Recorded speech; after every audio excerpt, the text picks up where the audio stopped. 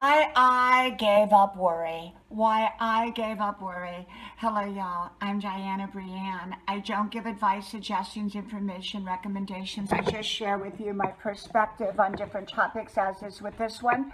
I hope you like, share, subscribe. All channel names are pinned at the top of the comment section below. So, why did I give up worry? Well, I found that worry was just needless repetition and uh, taking me nowhere. Sort of like a rat on a or a mouse on one of those little spinning wheels are going around and around and around, but they're not going anywhere. Um, and so a long time ago, I just said, you know what? I'm giving up worry. I'm going to make great decisions. I'm going to be fearless, but not stupid. Uh, you know, when some people think of fearless, they think, oh, I can just go do anything. No, I believe in making right decisions, um, thought thought out well, great wisdom decisions uh, to the best of my ability. And yet, I refuse to worry about things because worry is just it's like fear, and you're going over and over and over something. And sometimes we don't have a solution at that moment, even though we may be working towards a solution.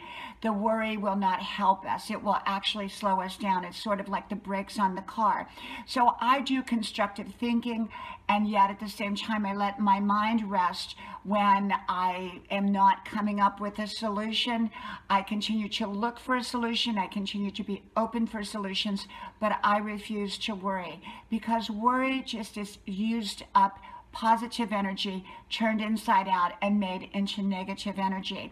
So I create positive energy by looking for positive solutions, but I don't repetitively go over and over something from a fearful perspective because usually that will only hold me back from the right solutions. Okay? So I've given up worry. From my house to yours, may God bless you. I hope you like, share, subscribe, and I hope to talk to you soon again. Bye bye.